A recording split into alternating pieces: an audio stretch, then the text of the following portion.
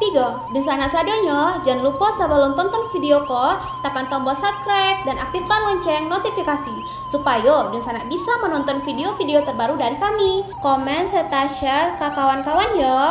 Halo para penonton, kembali lagi di channel Kabar Rantau. Bagaimana kabarnya kali ini para penonton? Semoga sehat selalu dan dilimpahkan rezekinya ya. Baiklah di video kali ini Mimin akan memberikan rekomendasi seputar makanan khas Payakumbuh, daerah yang berada di Provinsi Sumatera Barat. Alangkah baiknya sebelum melanjutkan video ini para penonton membantu Mimin untuk upload video lebih semangat lagi dengan cara menekan tombol subscribe dan bunyikan loncengnya. 1. Batia, tentunya kuliner ini wajib untuk Anda coba dan bawa pulang. Sebagai salah satu julukan dari kota Payakumbuh tentu tidak afdal rasanya setelah berkunjung ke daerah ini tanpa mencicipi dan membawa oleh-oleh kuliner satu ini. Batiah merupakan makanan khas Payakumbuh berbentuk kerupuk. Bedanya terletak pada bahan pembuatannya. Batiah terbuat dari ketan putih. Selain di kota Payakumbuh, batiah juga bisa ditemukan pada beberapa daerah lain di Sumatera Barat. Batiah cocok sebagai cemilan, dan bisa ditemukan di toko oleh-oleh khas Minangkabau di berbagai daerah di Sumbar. Cara membuatnya adalah beras ketan ditanak hingga matang, kemudian diambil dalam porsi-porsi kecil dan dibentuk bulat pipih. Setelah itu dijemur di bawah terik matahari. Jika sudah kering, baru bisa digoreng. Minyak penggorengan harus dalam jumlah besar supaya matangnya lebih merata. Rasa batiah kini juga beragam tak hanya gurih, tapi juga manis. Jika ingin lebih nikmat, kamu juga bisa menambahkan lelehan karamel di atasnya. Makanan ini sangat cocok dijadikan sebagai camilan saat kumpul keluarga atau jamuan tamu.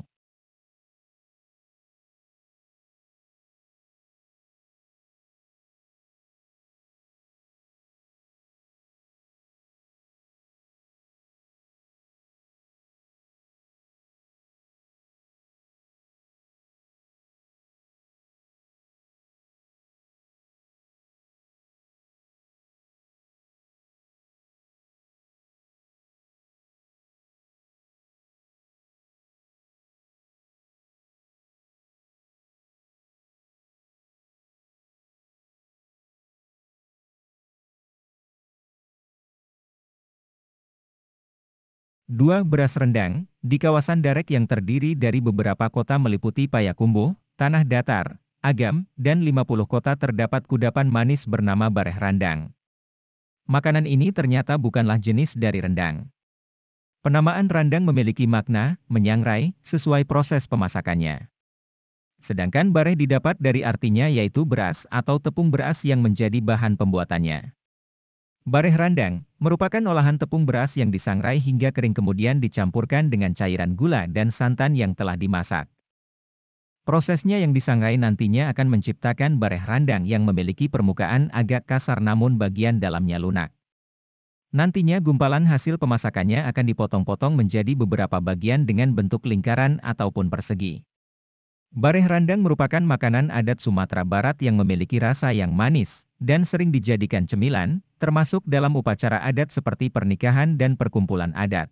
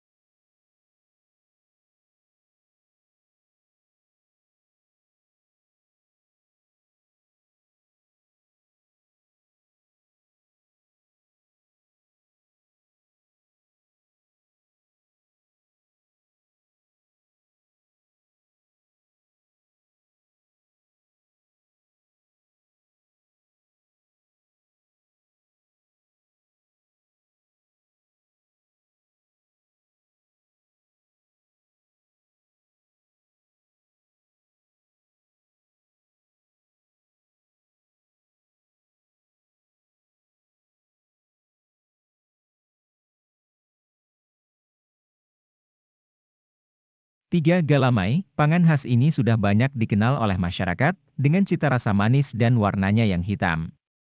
Galamai dibuat dengan bahan baku tepung beras ketan, gula aren, dan campuran santan.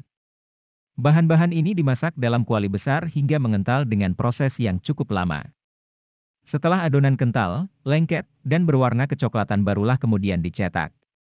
Galamai kadang disebut juga dengan nama kalamai atau calamai. Biasanya masyarakat Payakumbuh membuat galamai pada hari-hari spesial. Seperti pernikahan, hari raya, dan acara-acara adat. Galamai biasanya dibuat dengan cara bergotong royong karena memerlukan banyak tenaga untuk mengaduk adonan dalam jumlah besar dan waktu lama. Adonan kental, lengket, dan berwarna kecoklatan ini yang terkadang mirip sebagai dodol. Namun di beberapa pusat-pusat oleh-oleh, makanan tersebut banyak disediakan dan sudah dikemas rapi, umumnya dihargai Rp100.000 per kilogram.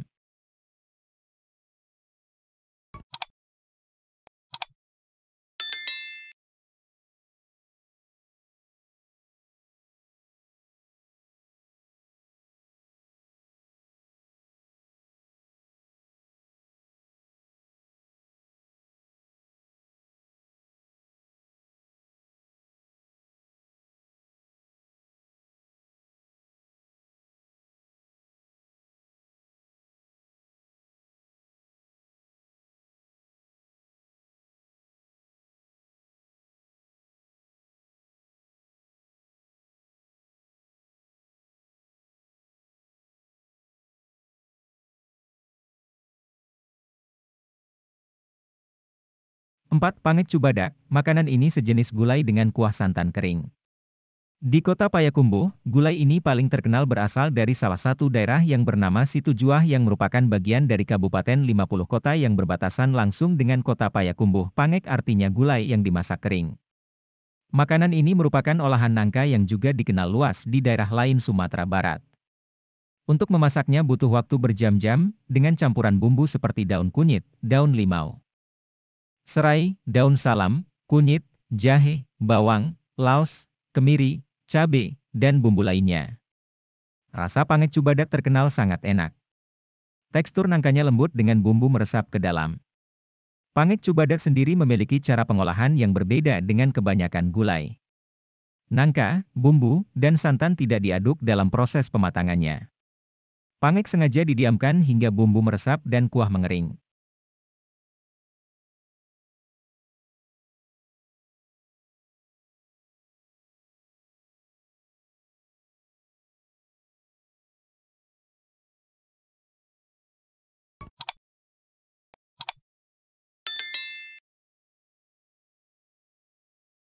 5. Gulai paluik. Gulai paluik merupakan makanan khas nagari Limbanang Payakumbuh yang jarang ditemukan di pasar lainnya.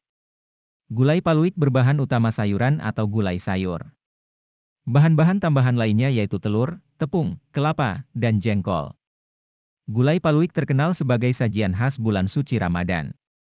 Biasanya jadi buah masyarakat untuk menu buka puasa.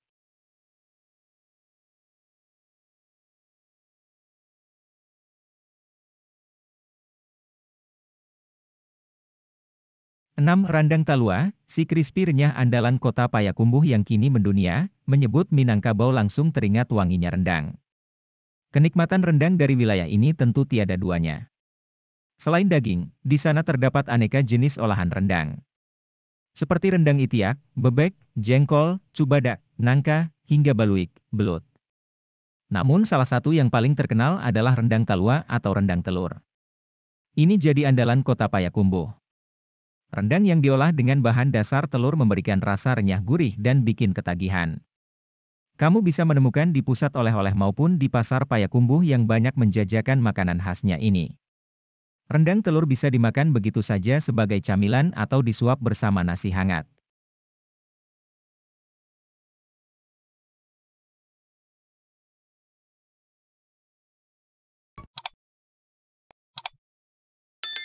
7. Katupek gulai paku yang lamak bana, sehabis olahraga pagi, akan sangat terasa nikmat jika menyantap katupek gulai paku khas Payakumbuh.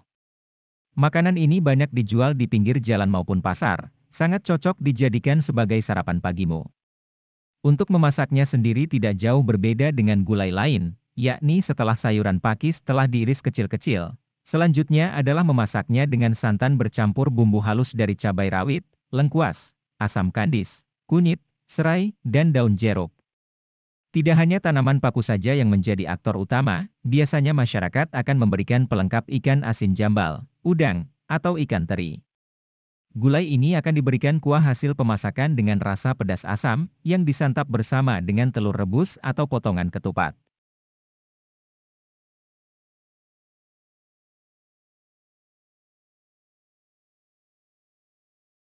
Delapan Sate dangwang-dangwang yang kaya bumbu rempah khas, kalau Pariaman punya sate berkuah coklat dengan daging berukuran kecil.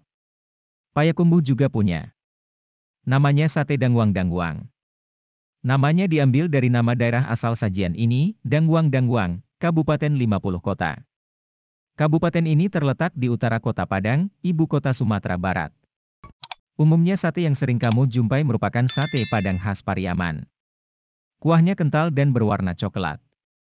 Beberapa ada yang mencampur kuah kentalnya dengan kacang. Perbedaan sate khas Payakumbuh ini terlihat pada warna kuah dan ukuran daging sate. Sama-sama kental namun berwarna kuning sedikit semburat merah. Irisan daging satenya berukuran lebih besar dan tebal. Warna daging satenya juga tidak terlalu coklat, melainkan coklat dengan semburat bumbu kuning.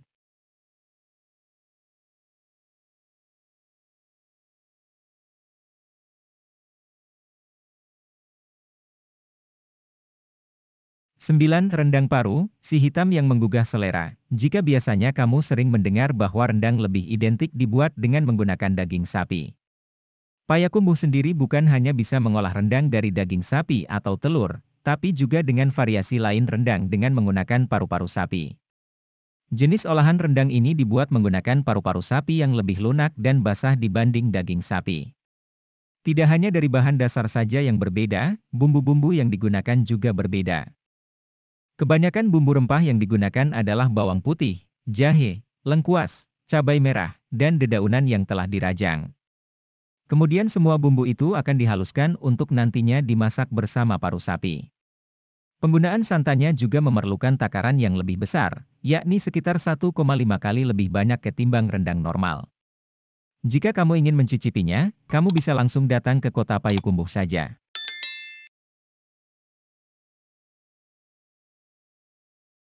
10. Martabak Kubang, kuliner malam pedas gurih khas Payakumbuh. Martabak ini seakan menjadi ciri khas dari Nagari Kubang. Bahkan para perantau dari daerah tersebut kerap menjadi penjual martabak di pelosok Nusantara. Martabak ini dibuat dengan isian daging sapi cacah bahkan rendang juga bisa, lalu ditambah dengan daun bawang.